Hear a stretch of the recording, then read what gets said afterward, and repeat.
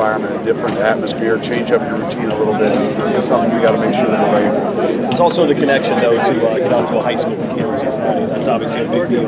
How important do you think that is for UC football to kind of show themselves at one of the marquee high schools? Well, this, this was, like I said, this was threefold for us. It wasn't just for our players to work on getting traveling on the road and getting changed up your routine, but also for us to get in the community, to get in the local high schools and things like that that are incredibly important to us. You know, all we talk about is our state of Cincinnati and our, our 50 mile radius and our 300 mile radius and, and really the great state of Ohio. So the, the, more we can do this, the more we can get out to promote, uh, you know, not just our program, but but everything we do is going to help us in the long run. The offense performance felt kind of even today. Now we tried to, you know, again, we try to set things up. We try to create momentums and things like that. That's kind of why we started the ball on the seven-yard line down there to begin.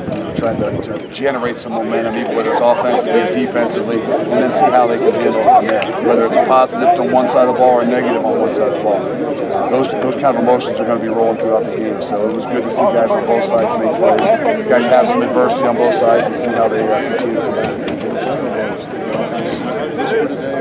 they did. They did. I still want to. I still want to see a little bit more of the tempo and the, a bit faster pace and things. Not just mean the, the plays, uh, but just getting in and out of things, getting back to the line of scrimmage, putting more pressure uh, on the defense. But for sure, the ability for the quarterbacks to understand more, have another week under their belt, and what the expectations are.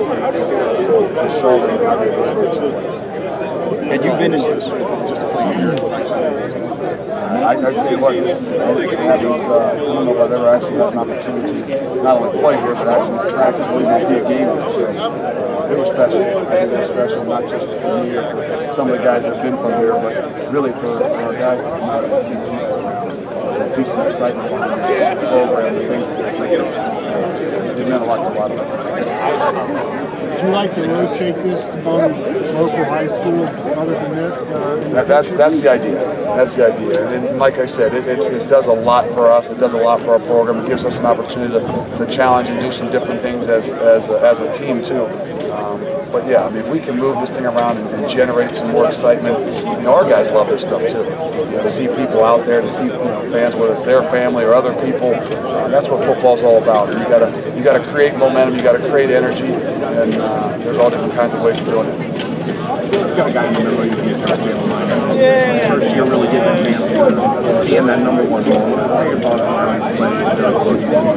been impressed with Jalen, and I don't, and, and, and, probably him as much as anybody on the defensive side of the football. And I don't just mean by how he's played, but his ability to take leadership, his ability to step forward, his ability to, you know, to do the things we ask him to do. Uh, I've been fortunate enough to be around a lot of great ones, especially at that position. And uh, I believe I think he's got he's got a lot of make. I'm surprised that he hasn't played more. Um, too bad he's a senior, but, uh, but that, we can't worry about that. The reality is that uh, you know he, he's on a fast pace, and, and you know what he's believing and buying into everything we're doing.